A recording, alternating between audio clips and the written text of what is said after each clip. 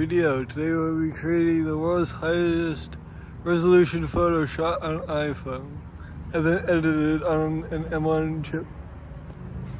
It's gonna be around a gigapixel and we're using AI tools along with a bunch of um, photos. So I'm gonna take around 74 photos of the, of the art itself and then another 50 or 60 of the ground, the grass, and points of reference so that the the algorithm can get a, a hold of points of interest. And I'll do this with the wide and the um, ultra wide angle lenses, and then we'll lock on, and then we'll create a um, a bitmap, and then a depth map, and then we'll take around 100 to 100 and 350 photos roughly give or take. And then we will chuck them in and let it process into a thousand megapixels roughly. These are all in JPEG um, just because I don't feel like the um, AI program can't batch process J um, Pro, um, ProRAW at this time, so we're just going to go ahead and do JPEG because it's easier and less time consuming. But we'll see. This is a fun little experiment. Um, so I'm going to take the photos and I'll get back to you in a sec. So I have taken all all the photos, um, 74 of them I think, um, and we're in this program. I didn't pay for it. It's a trial version, but um, it works for Mac, Linux, and Windows.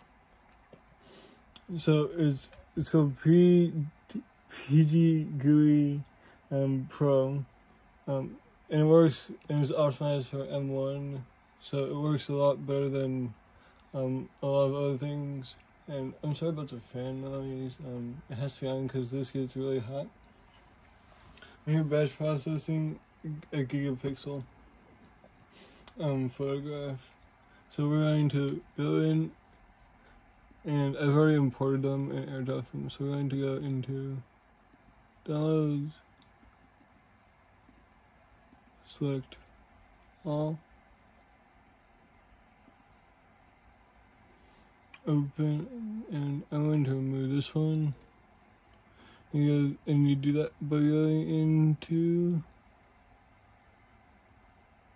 remove or reorder images.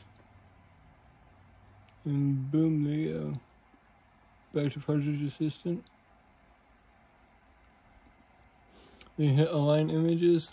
As you can see, it's aligning them.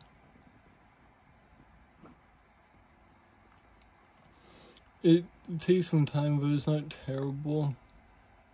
Especially for only 74 photos. As I said, these are shot in, in JPEG, um, just because this one doesn't, this program in particular doesn't process RAW particularly well. Um, it kind of just turns out into black inky mess, um, and I don't feel like going through and batch processing them all. So it's gonna say, yeah, it's close.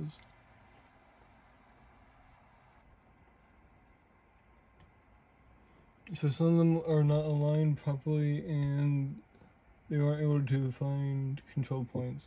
So control points essentially means like points of interest that the AI can find. So, so I'll fix that.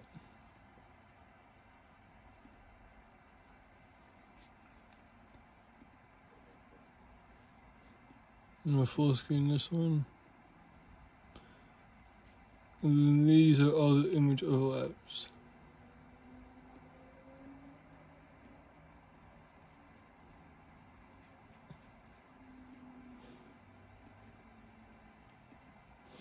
You're into blending, fill holes, and then that. So look a bit wonky, and this patch I totally forgot to take a photo of, so it's, it's gonna be a bit weird.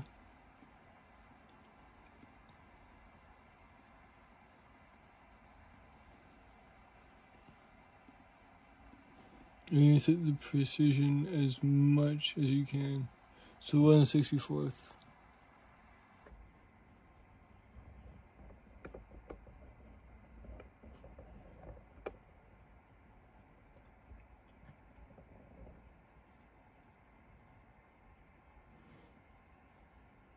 So set 1 64th. So that allows it to be much, much more precise. And then you select zero overlap. Well, it's not entirely perfect because it has to interpolate information that's not really there. And for some reason, I don't know why I can't just film grass, but okay. I, I'm still learning this program admittedly, and it's not the greatest one out there, but oh well.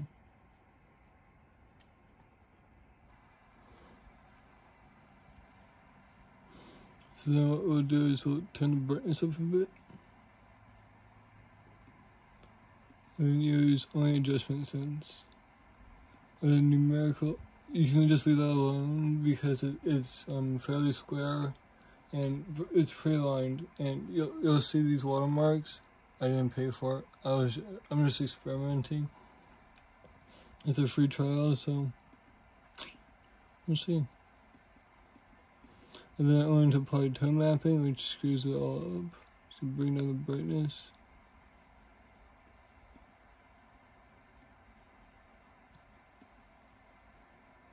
You just get kind of to it looks normalish. This converts it to an HDR image.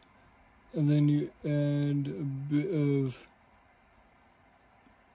mess the curves a bit, get some contrast.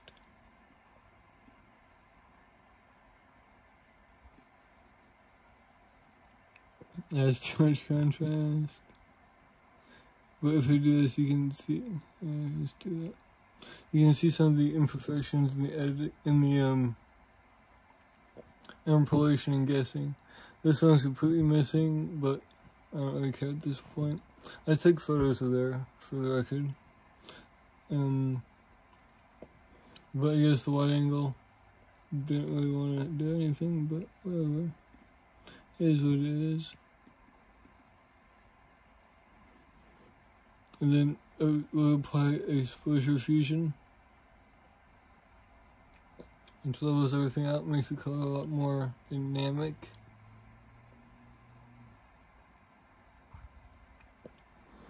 And you might see these little red lines, that's to show the image overlap and where it's cutting off and um, merging. Um, it's not perfect, this is not my favorite program ever. But it's the one that works best on Mac. So we're gonna exit out of this preview. And then you can see. So there's the, um, we're going to change the colors and optimize the images so they're all blended together. And then you can see that curve changed a bit. And this means that all of our images are going to be the same color and same um, brightness and exposure compensation, roughly and just keep this all as normal. There's all images, exposure HDR. So this is just, this is where we would do it.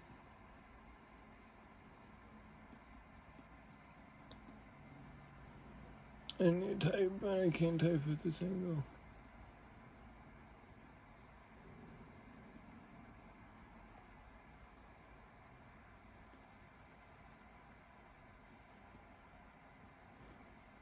It to JPEG.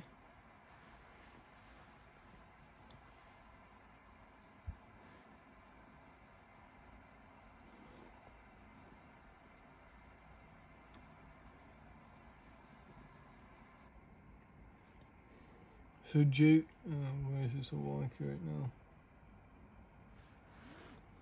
So, yeah, you can't see crap.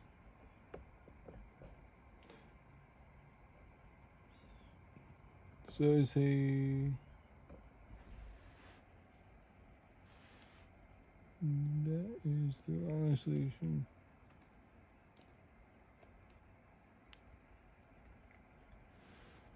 So it's a 500 million pixel photo.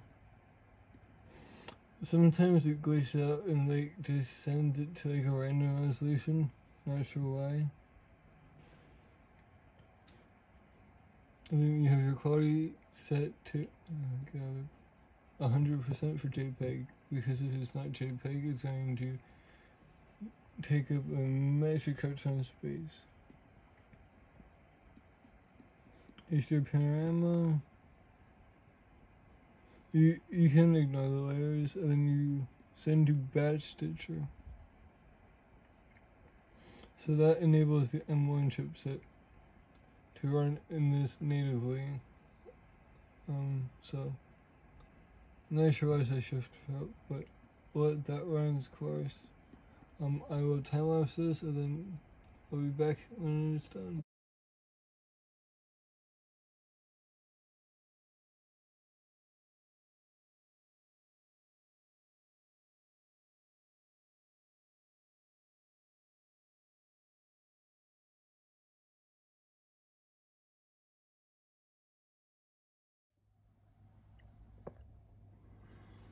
So it's almost finished processing. It's been about um 20 minutes to half hour. And as you can see, it's almost done. The MacBook Air is running a bit toasty. There, just finished. You might see there is no preview. So what we're going to do is go into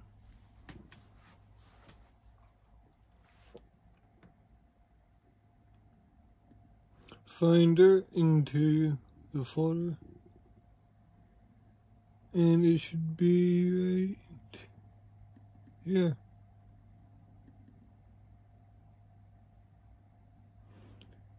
And get a second to load.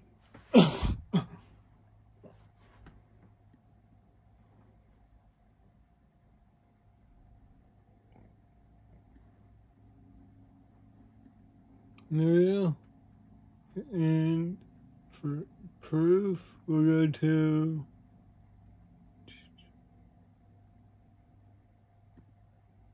insert.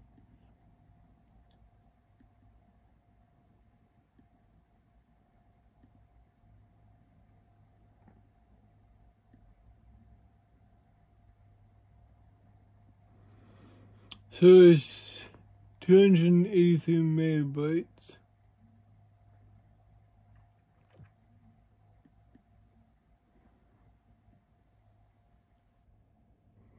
iPhone 13 Pro.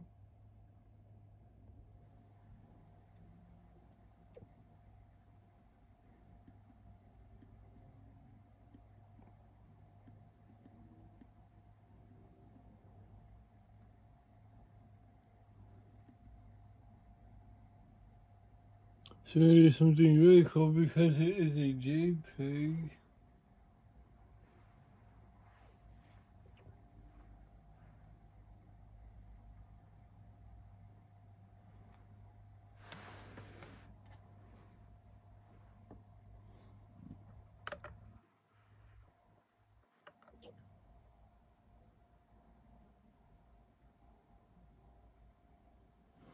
We can toss into Lightroom on the iPad and you see all the glorious, glorious detail.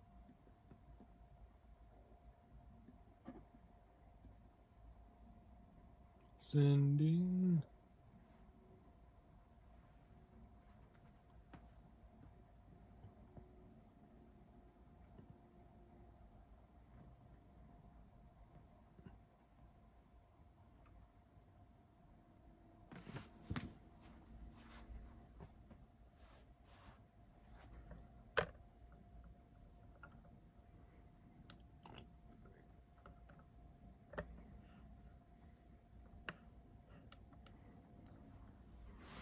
As you see, didn't fill that in, but everything else is filled in pretty well.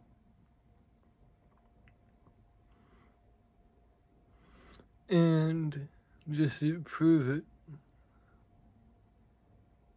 your info.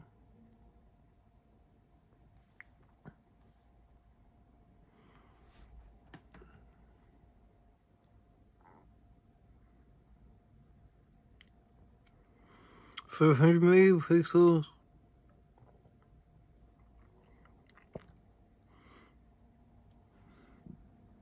So what we're going to do is open this up in Lightroom.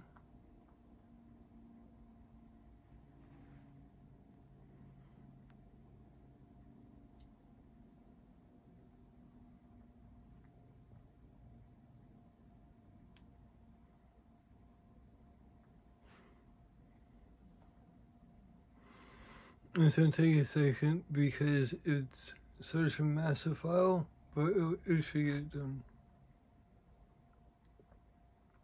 And there we go. So we're going to wait for it to load again.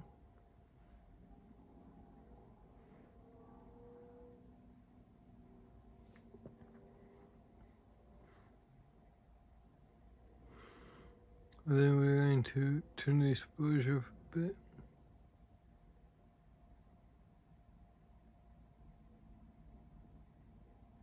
Turn the contrast down, highlights up.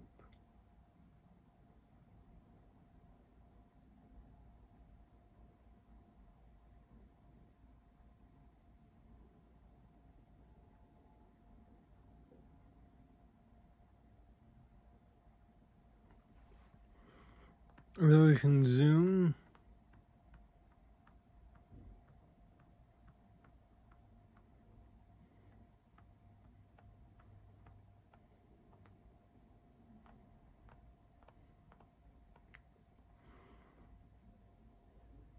And I can see from here the capacitor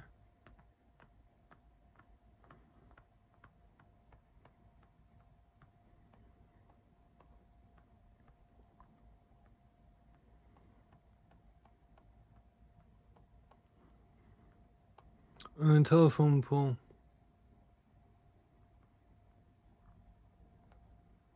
See the doggo.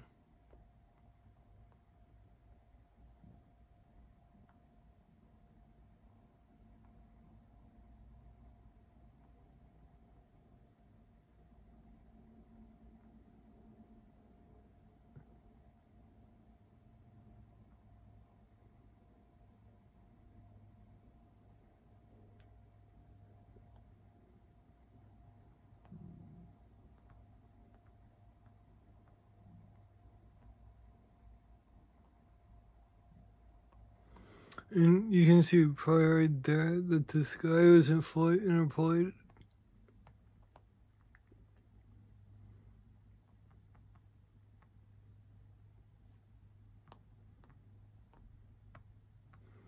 But you can see the grass texture there.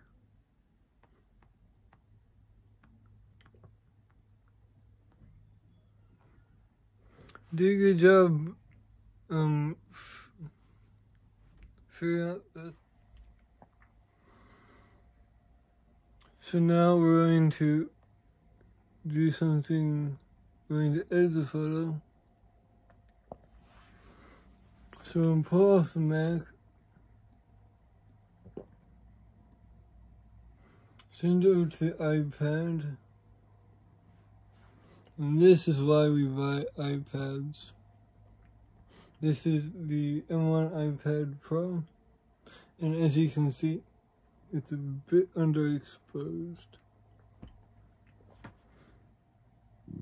But as you can see,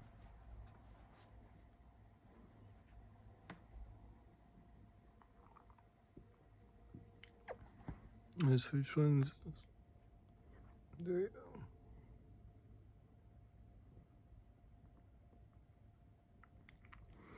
500 megapixels, iPhone 13 Pro.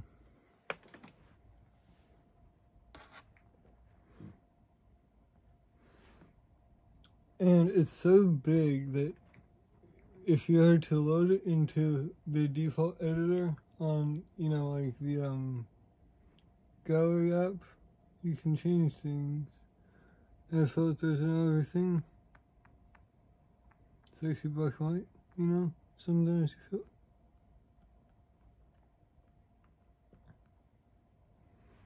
But when you hit done, it just crashes out the home screen. So you have to use Lightroom.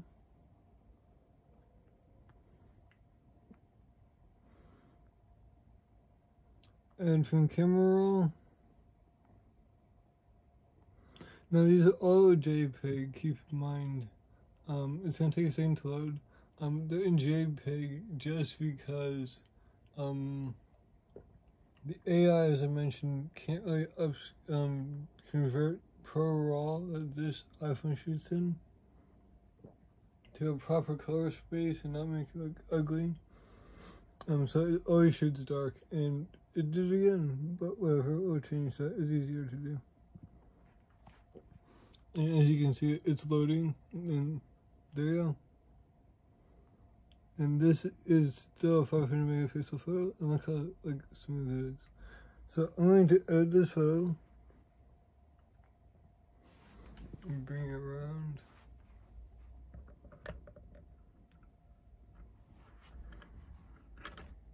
So you can see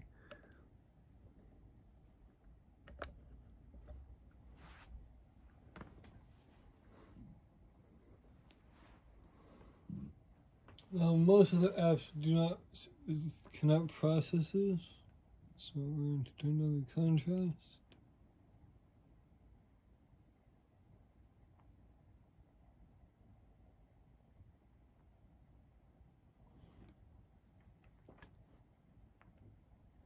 And as you can see, you just can't fill in any of this. Um, for some reason, you know, the grass is right there.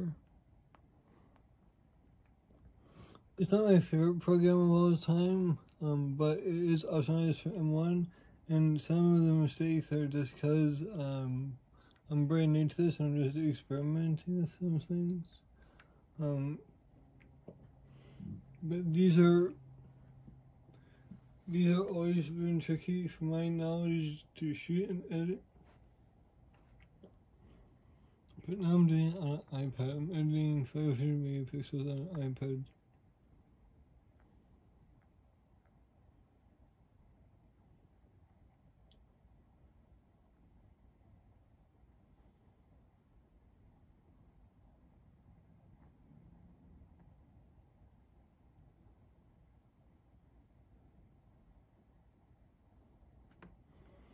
We'll we'll give it some vibrance. Not too much, that's too much.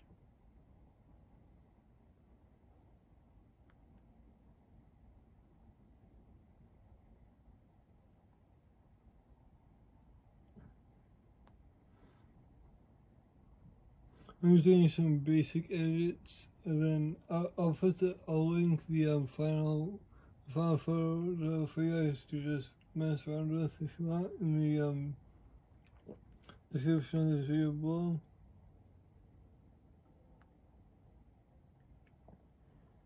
So a bit of texture, bring out some of those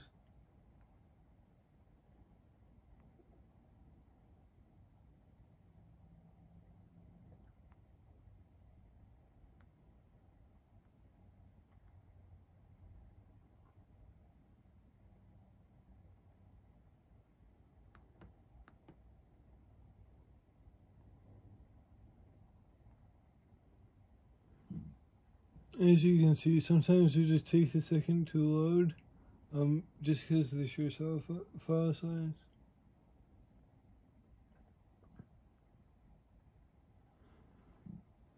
And if we zoom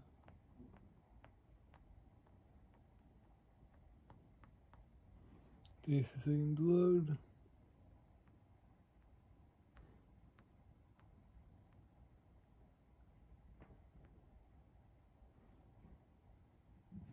But so, but you can see some interpolation's not quite right.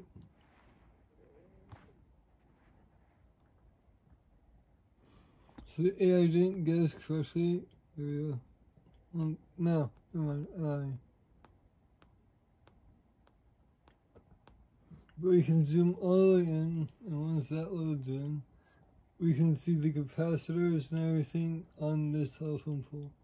Which, keep in mind, is that that is on the other end of the yard, like across across the street. So this isn't a fake upscale resolution bullcrap thing.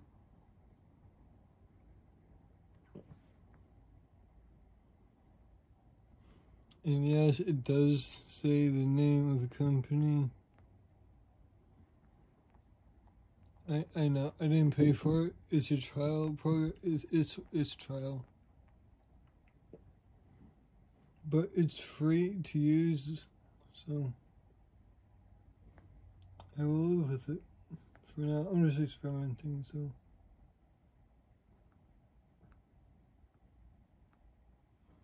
But did a pretty good job with this guy. And honestly, this one went pretty good. I did mess up on the house a bit, if you can see that. But that's probably my fault for not taking enough photos of the um, side of the house with a normal, uh, um, with a normal lens. There's some furniture there that's not supposed to be there. I would screen record this, but it, I am worried about it going over the threshold of RAM management on this, but.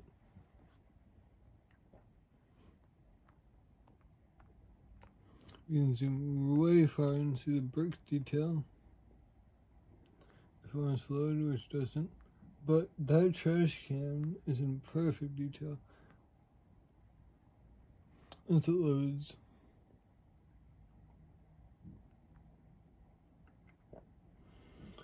And it was partially obscured and partially not properly exposed. But it the most information and this, the, the um, tile on this house, which is a, adjacent to our house down the block about a good distance. You can see the pattern on the shingles.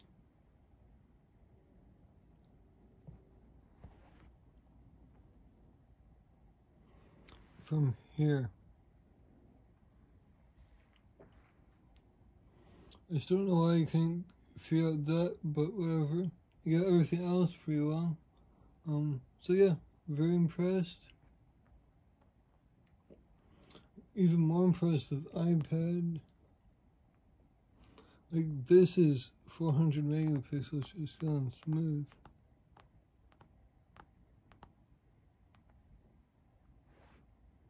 Five hundred, I mean.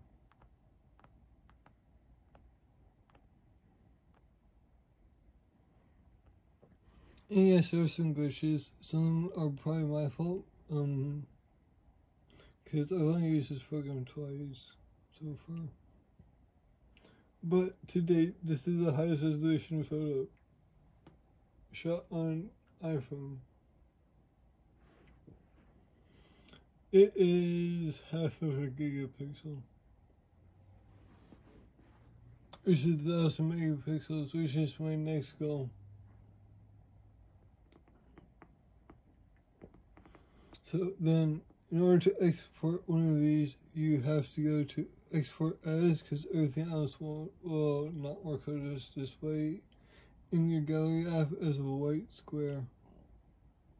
So export and look at this. Real-time rendering of all these effects. So it looks stupid, isn't it? Yep.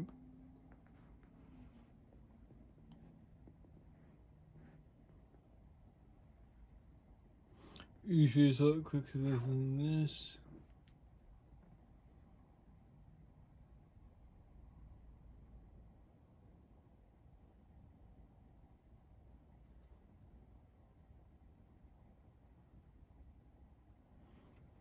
Yeah, but I'll, I'll link this final photo for you guys to mess around with in, in the description below. And there you go. You save the image. go to the gallery. And you, and you might see it's not showing up yet. Um, it takes about um, a couple of seconds, but while we wait for it to load in. This is what happens if you do the same thing, but you don't set it as a um, JPEG.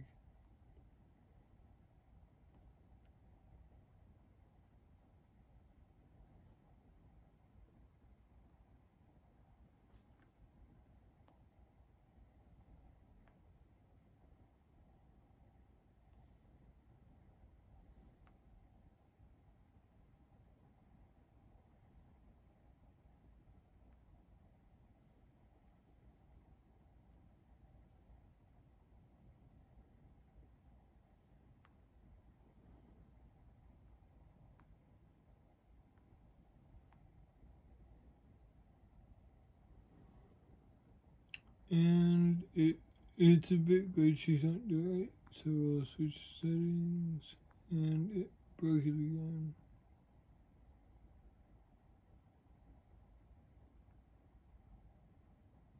And that's why so I'll change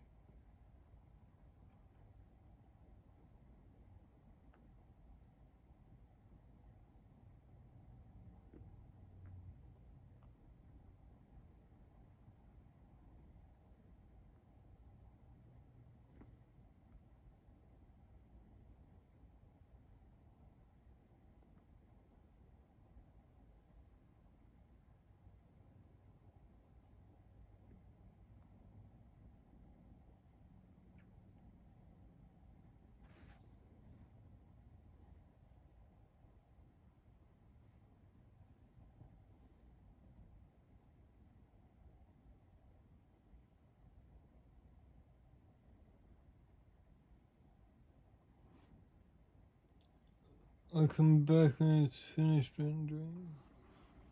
So we're back, turns out of storage.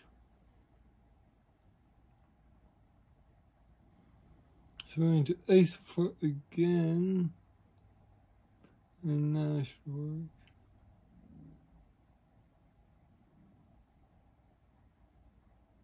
Or crash.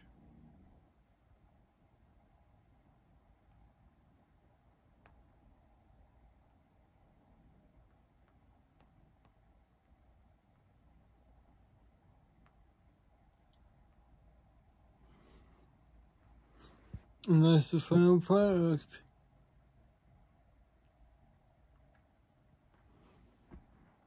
I will link that one in the description below. Um, till next time. Um, yeah, stay fresh. I hope you guys enjoyed this longer video.